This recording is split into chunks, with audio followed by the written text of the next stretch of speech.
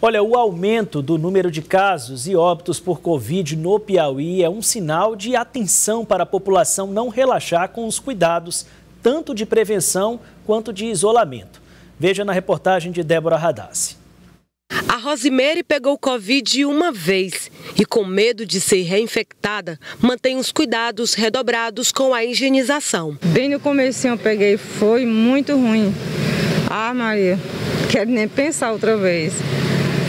É ruim demais, Covid. Muito ruim. Muito, muito. Seguindo a recomendação de médicos e especialistas, a população teve que adaptar a rotina, adotando medidas variadas para impedir a propagação do contágio. A gente mora no interior, de fato a gente não é daqui da cidade, né? Aí no interior as questões são mais isoladas, mas a gente está sempre é, procurando meio de se prevenir, né? O máximo possível. O Piauí registrou nesta terça-feira 638 casos de Covid-19 e 7 óbitos.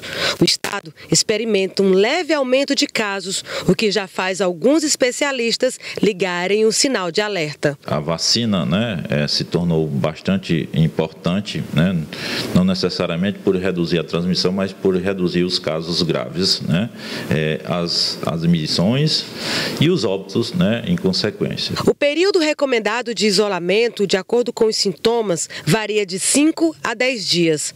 O isolamento por 5 dias vale para pacientes sem sintomas respiratórios ou febre nas últimas 24 horas. É necessário fazer um teste negativo para sair do isolamento. O isolamento de 7 dias vale para pessoas sem sintomas e sem febre. Se no sétimo dia ainda tiver sintomas, o paciente pode fazer o teste e, se der negativo, sair do isolamento. Em caso de teste positivo, o isolamento continua até o décimo dia. Se não houver mais sintomas, o paciente sai do isolamento sem necessidade de teste.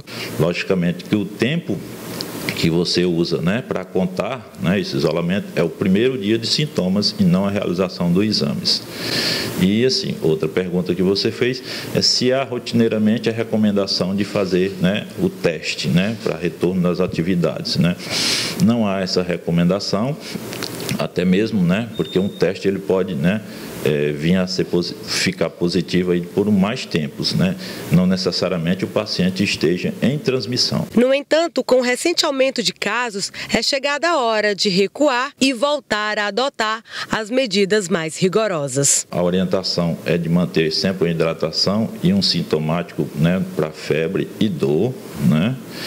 E, né, é, atenção para os alertas, né, que são alertas de descompensação de o um paciente que tem alguma doença já, já crônica, né, ou alerta respiratórios, né, nesses é, pessoas né, que são do grupo né, de, de risco, né, procurar antes né, o serviço de saúde com relação a isso. A mulher que tenha mais cuidado, né, que se previna, porque a situação ainda está aí, ainda está muito triste ainda, né.